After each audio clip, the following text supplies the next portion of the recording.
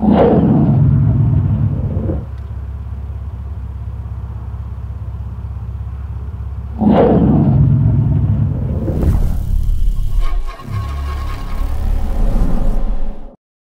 everybody, welcome to another Affinity Photo tutorial. This week I'm going to do the Night Stalker. So as usual, let's get started. This is the background that I'm going to start off with. Just going to make that a little bit smaller with a command minus. I'm going to set this background up with a little bit of atmosphere. So I'm going to add a new pixel layer and change the blend mode to soft light. Going to pick a brush over here on my brushes and just a nice soft brush. And with the color, I'm just going to pick some of these colors in here, these yellows, change that color, make my brush quite big.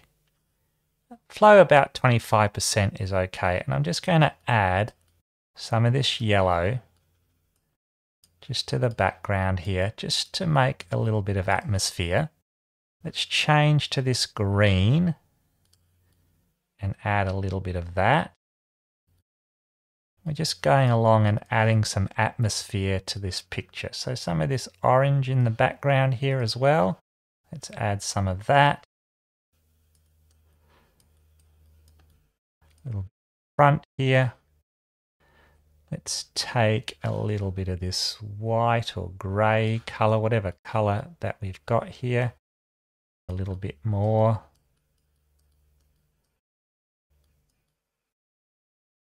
Just adding some colors. Maybe the one from the light back here. Nice bright color. Brush a bit bigger.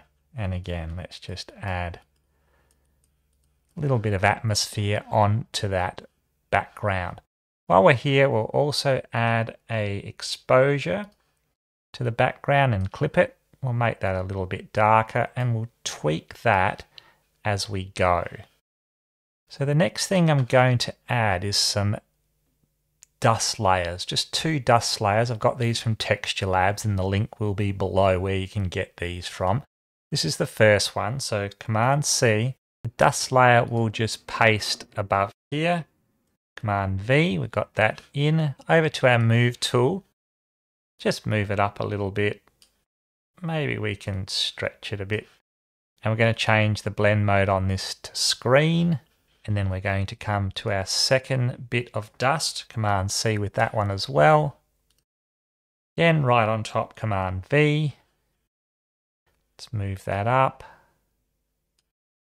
Let's just stretch that one a little bit. And again, change that one to screen. Just adding that little bit of atmosphere. Maybe that one here, we might go arrange and flip horizontal. Yep, that looks a little bit better. So we've got that little bit of atmosphere in there. So that's good. I'm also going to, above this one here, is add another pixel layer. We're going to change that to soft light. And I'm just going to come back to my brush.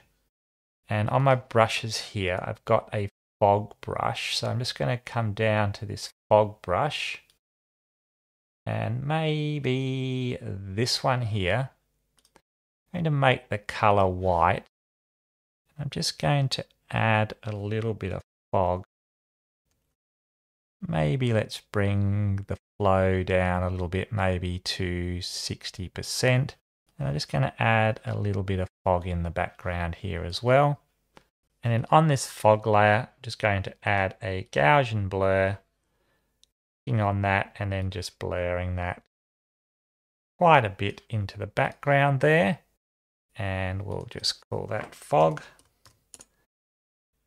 And then we might just group all of these together with a command G. And again, we'll call that atmosphere. Just so we've got an atmosphere group here. And again, we can always keep tweaking this background with our exposure. Okay, let's get rid of that brush and go back to our basic brushes. So the next thing that we're going to bring in is our car. So this is the car that I've created and what I've done with this car is I've cut the car out from the background and then I've added a filter which is a detect and detect horizontal edges. And what I've done then is with a very small brush, very, very small brush like this one here, and with my brush just gone around really small and just painted in these lines and just accentuated these lines. Also added a couple of flares to the lights in the color red and this is where we've ended up. Now this car will be available on the Buy Me a Coffee site for you to download as is, absolutely free as usual. So let's copy this car over, Command C, and come over to our picture here. We're going to put it above the background with Command V. Come over to our Move tool and let's get this car in place. We're going to place it right in the middle. I'm going to bring it on top, right in front of the atmosphere. Like here. And maybe just resize it. Okay. That looks pretty good. While we're here on this car, I'm going to grab my erase tool, dropping my flow to about 10%. What I'm going to do is just down the bottom here, going to erase a little bit here just so we can see that coming through. And I'm also going to get rid of these harsh lines on the side here. Okay, that looks pretty good. I might just move it down a little bit more to about there. That looks pretty good. Okay, the next picture that I'm going to bring over is the picture of this broken glass. And I'll just click on my rectangular marquee tool and I'm just going to make a square around the section that I want. About there, Command C, bring that over to my car and then right on top, Command V. On our move tool, let's just resize that and turn it round. Sort of place it a bit smaller and then I'm just going to drag it a bit, bit bigger on that side. Sort of placing it in the middle there. Going to change the blend mode to hard light here, this one here. I'm going to add a mask. Back onto a soft brush. Getting our colors back to default by hitting D on the keyboard. On our brush. Drop the flow to 10%. Make sure we're on that mask and in black. Make my brush a little bit bigger. I'm just going to blend this in to the windshield here.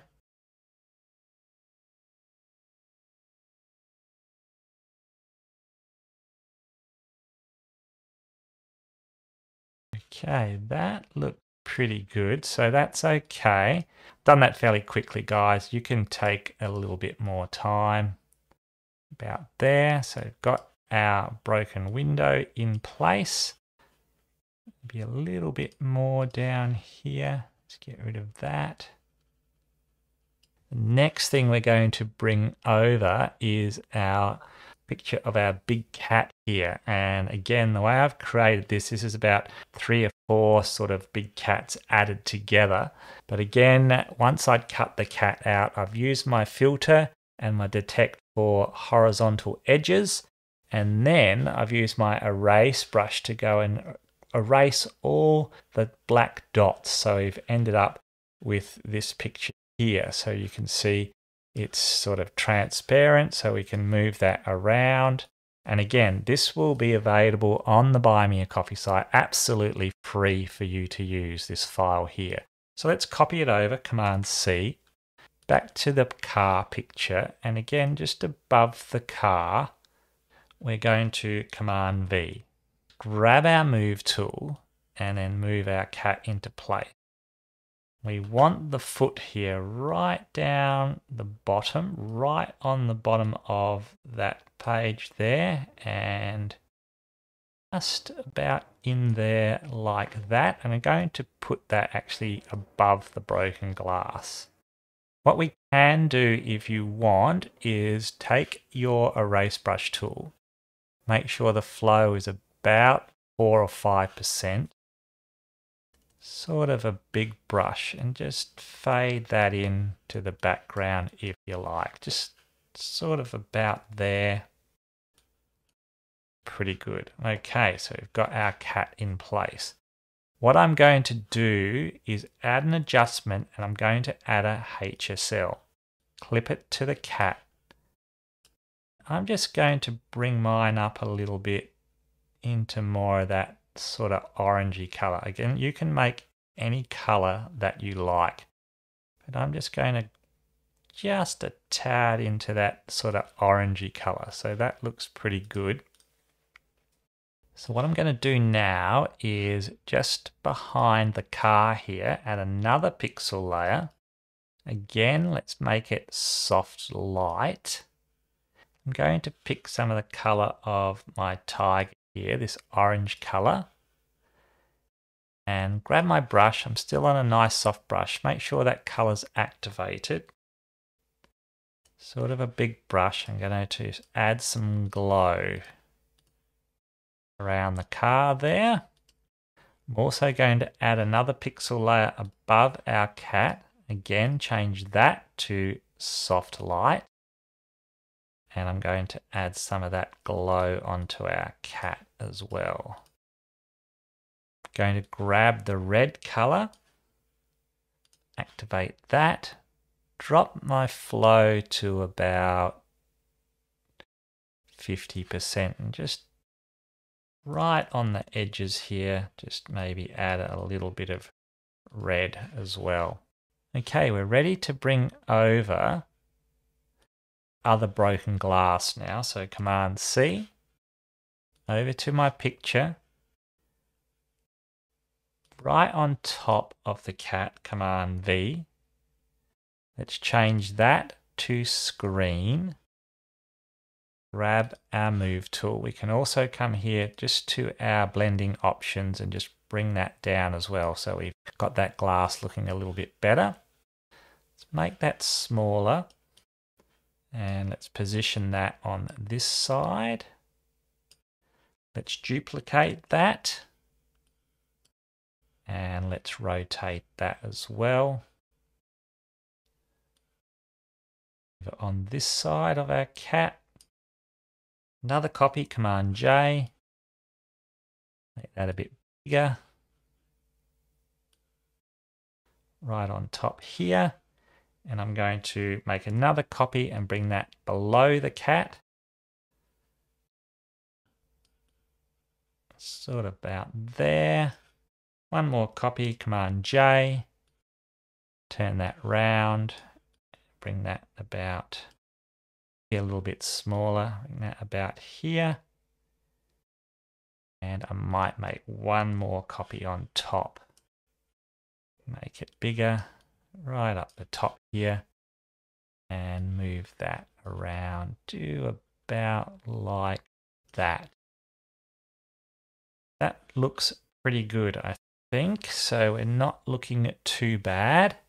What I'm going to do with my cat right on top here, another pixel layer. This time I'm going to change the blend mode to color dodge. And I want a, a really nice, really nice green color here. Got my brush still on my soft brush. And I want to make my big cat's eyes green. So I'm going to just zoom in and paint that green into the eyes here.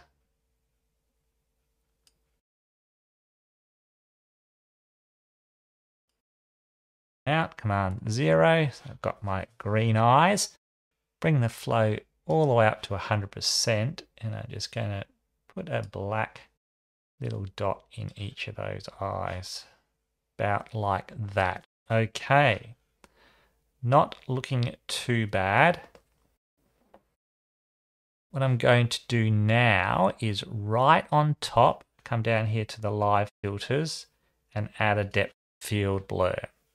Again, I'm going to bring that up here by itself, clicking on Preserve Alpha, and I'm going to take this up to about 4 and bring that right down here and I'm going to crop it. So I've got my crop tool here and I'm going to bring the sides in a little bit. One here, one there and hit apply. Okay, before we go any further, I'm going to come down here to my background, onto my exposure, drop that quite a bit more. Maybe about there. Okay, that looks pretty good. Let's come up the top here and go layer, merge visible, and come over here to my tone mapping. I'm going to use the detailed one again and bring that down all the way to 15 this time. This week we're going to go with 15. Going to bring the exposure down Make that quite dark. Bring the saturation down a tiny little bit. The detail will bring up to a, just, just on 50. And I think that looks pretty good. So let's hit apply. So there we go, everybody. That is my tutorial for this week. I hope you have enjoyed it. If you would like to support my channel, you can head over to the Buy Me a Coffee site while you're there, you can download the Big Cat and the car absolutely free. But if you have liked it, please give it a thumbs up. Please consider subscribing to my channel. Until next time, I'll say to you, stay well, stay safe, and I'll see you in the next video.